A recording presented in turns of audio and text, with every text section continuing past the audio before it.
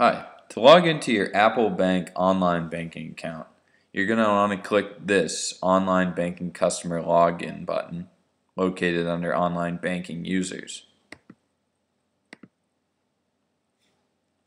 Once you've clicked that, you will come to the Online Banking Customer Login, enter your user ID in this space right here, then click Login. If you have any trouble logging in, simply just click here for instructions.